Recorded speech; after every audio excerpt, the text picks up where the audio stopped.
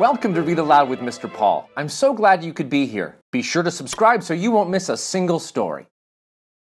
Today we'll be reading Room on the Broom by Julia Donaldson. Pictures by Axel Scheffler. Room on the Broom by Julia Donaldson. Pictures by Axel Scheffler. The witch had a cat and a hat that was black, and long ginger hair in a braid down her back. How the cat purred, and how the witch grinned, as they sat on their broomstick and flew through the wind. But how the witch wailed, and how the cat spat, when the wind blew so wildly it blew off the hat. Down!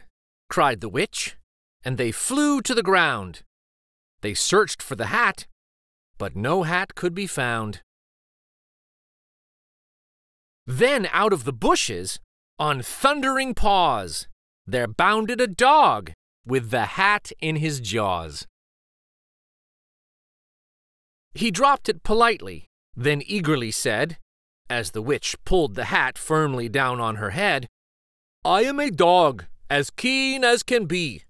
Is there room on the broom for a dog like me? Yes, cried the witch, and the dog clambered on. The witch tapped the broomstick, and whoosh, they were gone. Over the fields and the forests they flew. The dog wagged his tail, and the stormy wind blew. The witch laughed out loud and held on to her hat. But away blew the bow from her braid, just like that. Down! cried the witch, and they flew to the ground. They searched for the bow, but no bow could be found. Then out from a tree, with an ear-splitting shriek, there flapped a green bird with the bow in her beak. She dropped it politely and bent her head low, then said as the witch tied her braid in the bow, I am a bird, as green as can be. Is there room on the broom for a bird like me? Yes, cried the witch. So the bird fluttered on. The witch tapped the broomstick, and whoosh! They were gone. Over the reeds and rivers they flew. The bird shrieked with glee, and the stormy wind blew. They shot through the sky to the back of beyond. The witch clutched her bow, but let go of her wand. Down! cried the witch, and they flew to the ground. They searched for the wand, but no wand could be found. Then, all of a sudden, from out of a pond, leaped a dripping wet frog with a dripping wet wand. He dropped it politely, then said with a croak, as the witch dried the wand on a fold of her cloak, I am a frog, as clean as can be. Is there room on the broom for a frog like me? Yes, said the witch. So the frog bounded on. The witch tapped the broomstick, and whoosh, they were gone. Over the moors and the mountains they flew. The frog jumped for joy, and. The broom snapped in two! Down fell the cat, and the dog, and the frog. Down they went tumbling into a bog. The witch's half broomstick flew into a cloud, and the witch heard a roar that was scary and loud.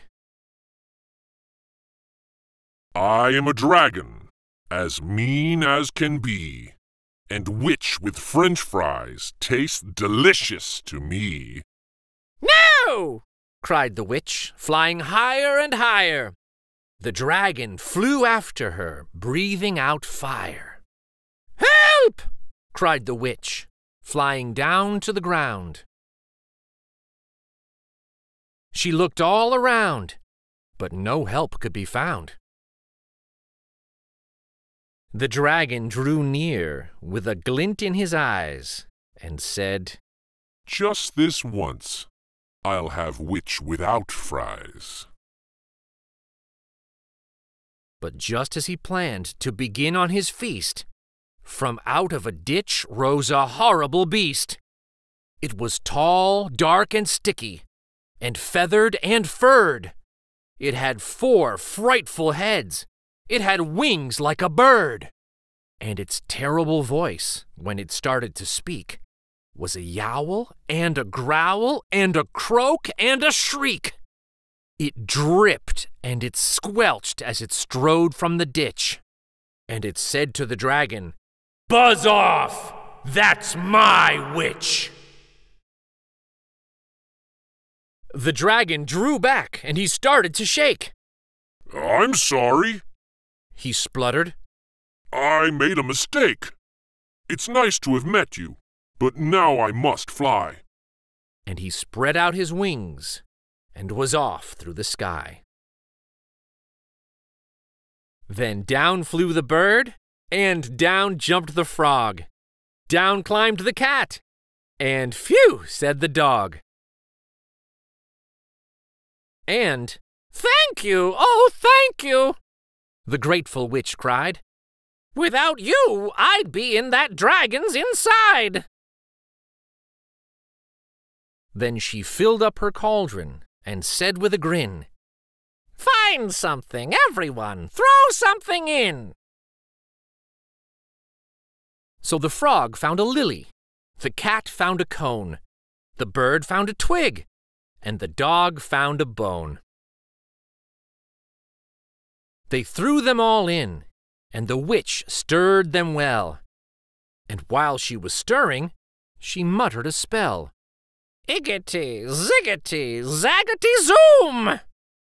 Then out rose a truly magnificent broom!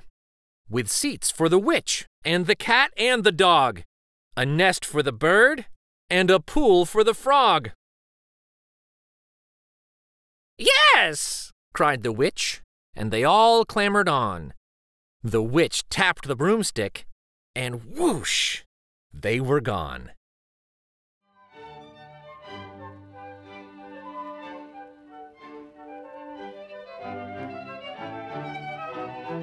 Thank you so much for joining me for Read Aloud with Mr. Paul.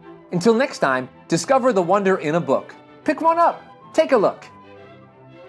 For more fun stories, like and subscribe to Read Aloud with Mr. Paul. Thanks again.